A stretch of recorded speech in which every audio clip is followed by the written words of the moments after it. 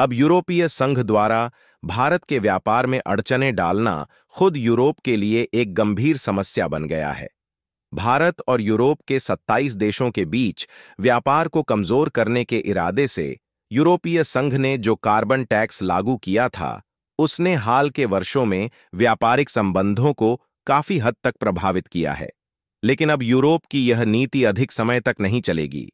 क्योंकि भारत ने इसके खिलाफ सख्त कदम उठाने शुरू कर दिए हैं और यूरोपीय संघ की पकड़ को कमज़ोर करने की दिशा में ठोस प्रयास कर रहा है, क्योंकि भारत ने यूरोपीय संघ के इस कदम का कड़ा विरोध किया, जिससे यूरोपीय संघ को बड़ा झटका लगा है।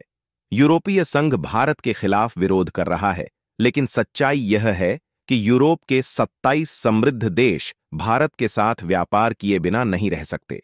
खबरें यह भी हैं कि यूरोप की कई रिफाइनरियों में ताले लग चुके हैं, यानी वहाँ का उत्पादन बंद हो चुका है और उन्हें अब तेल की आपूर्ति भारत से करनी पड़ रही है। भारत से यूरोप में तेल उत्पादों का निर्यात इतनी तेज़ी से बढ़ रहा है कि पिछले दो वर्षों के सभी रिकॉर्ड टूट गए हैं और दुनिया भर में चल रही तनावपूर्ण स्थिति के बीच यूरोप में भारत के तेल निर्यात के आंकड़ों ने सबको चौंका दिया है। सवाल उठता है कि आखिर यूरोप की रिफाइनरियाँ क्यों बंद हो गई हैं, और उन्हें भारत से ही तेल क्यों मंगवाना पड़ रहा है?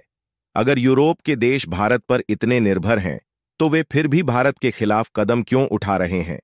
इन सभी सवालों के जवाब आपको इस वीडियो में सरल शब्दों में मिलेंगे। लेकिन आगे बढ़ने से पहले, कृपया इस वीडियो को लाइक करें और चैनल को सब्सक्राइब करें। यह आपके लिए कुछ सेकंड का काम है, लेकिन हमारी काफ़ी मदद करता है।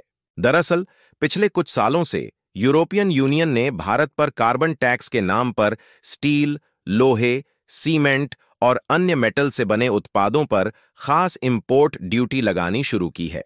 लेकिन असली समस्या यह है कि यह इंपोर्ट ड्यूटी सभी देशों पर समान रूप से लागू नहीं होती।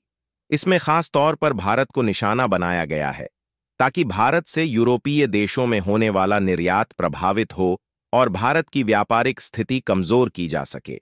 यूरोपियन यूनियन का उद्देश्य यह है कि भारत का एक्सपोर्ट बुरी तरह से प्रभावित हो।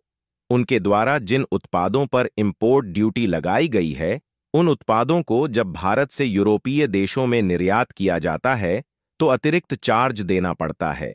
इससे भारत के उत्पादों की कीमत स्वाभाविक रूप से बढ़ जाती है, और उन महँगे उत्पादों को यूरोप में बेचने के लिए अधिक कीमत पर बेचना पड़ता है। ज़ाहिर है, इतनी महँगी कीमत पर कोई भी खरीदार उन उत्पादों को खरीदने से कतराएगा। इसका असली मकसद यही है कि भारत का निर्यात कम हो जाए। यूरोपियन यूनियन लगातार भारत के एक्सपोर्ट को किसी न किसी बहाने से कम करने की कोशिश में जुटा है। खास तौर पर मेटल और सीमेंट जैसे प्रोडक्ट्स पर इंपोर्ट ड्यूटी और कार्बन टैक्स के नाम पर इसे बढ़ाते ही जा रहे हैं। पिछले साल जब भारतीय मैन्युफैक्चरर्स ने इस पर आपत्ति जताई तो यूनियन ने जाँच की बात की। लेकिन समाधान की बजाय इसे 2026 से नए नियमों के तहत लागू करने की योजना बनाई जा रही है।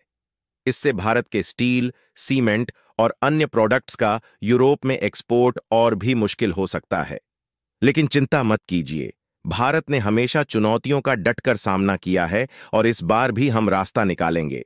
हाल ही में खबरें आ रही हैं कि भारत के वित्त मंत्री ने यूरोपियन यूनियन द्वारा लगाए गए इस कार्बन टैक्स को एक तरफा और अनुचित करार देते हुए उन्हें कड़ी फटकार लगाई है।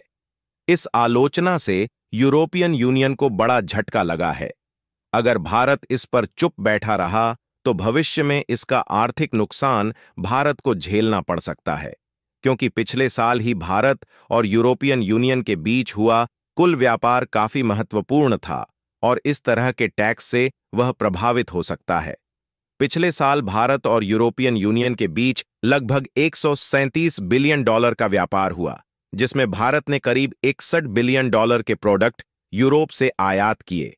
वहीं भारत ने यूरोप को 75 बिलियन डॉलर के उत्पाद निर्यात किए, जिससे करीब 14 बिलियन डॉलर का व्यापारिक लाभ प्राप्त हुआ। यह लाभ भारत की अर्थव्यवस्था के विकास के लिए महत्वपूर्ण है, क्योंकि इससे भारत में आर्थिक प्रगति को बल मिलता है।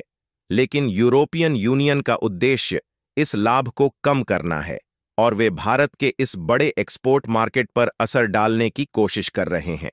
अगर यूरोपियन यूनियन भारत पर अलग अलग इंपोर्ट ड्यूटी लगाता है तो इसका नकारात्मक प्रभाव भारत की अर्थव्यवस्था पर पड़ सकता है। यूरोप की मंशा साफ़ है वे भारत की तेज़ी से बढ़ती आर्थिक गति को धीमा करना चाहते हैं। हालाँकि, जब वे इस तरह के फैसले लेते हैं तो शायद वे यह भूल जाते हैं कि भारत एक ऐसा देश है जो उनकी जरूरतों को पूरा करता है और भारत के बिना उनके लिए अपनी आवश्यकताओं को पूरा करना मुश्किल हो जाएगा। भारत कई तरीकों से यूरोप की मदद कर रहा है, जिसे वे नजरअंदाज नहीं कर सकते। आप इस खबर से यह समझ सकते हैं कि अधिकांश यूरोपीय रिफाइनरी बंद हो चुकी हैं, जिसके परिणाम स्वरूप भारत ही डीजल, पेट्रोल और जेट ऑनेल की सप्लाई कर रहा है।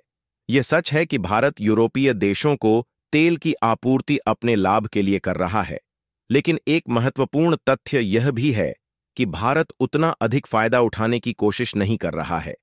वास्तव में हम यूरोपीय देशों को तेल उत्पाद सस्ते दामों पर उपलब्ध करा रहे हैं। हालाँकि यूरोपीय देश इन सभी तथ्यों के बावजूद भारत के महत्व को नहीं समझ रहे हैं और इसके बजाय भारत के एक्सपोर्ट को कमज़ोर करने की कोशिश कर रहे हैं। आपको यह जानकर हैरानी होगी कि भले ही जर्मनी, पोलैंड और इटली जैसे 27 देश अमीर माने जाते हैं, लेकिन वे इतने समृद्ध नहीं हैं कि यदि भारत ने उन्हें डीजल या पेट्रोल की आपूर्ति बंद कर दी तो वे अन्य देशों से इसकी आपूर्ति कर सकें। दरअसल जब से रूस और यूक्रेन के बीच युद्ध शुरू हुआ है, तब से अमेरिका ने रूस पर कच्चे तेल के बिक्री पर प्रतिबंध लगा दिया है। साल 2022 से पहले, सभी यूरोपीय देशों ने कच्चा तेल रूस से ही खरीदा था।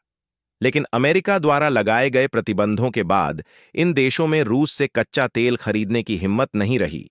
इस स्थिति में, भारत एकमात्र ऐसा देश है जो प्रतिबंधों के बावजूद सीधे रुपये में रूस के साथ व्यापार कर रहा है और सस्ते दामों पर कच्चा तेल खरीद रहा है।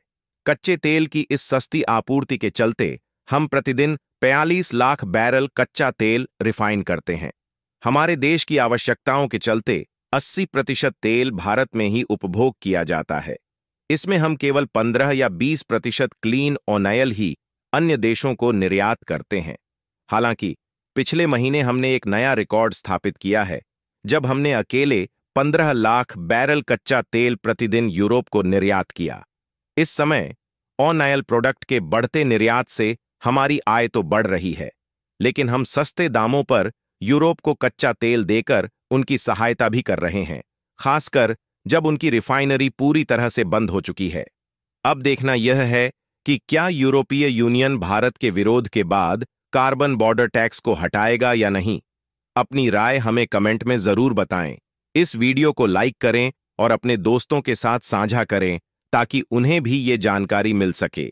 ऐसे और ज्ञानवर्धक वीडियो देखने के लिए हमारे चैनल को सब्सक्राइब करें और बेल आइकन पर ऑल का चयन करना न भूलें।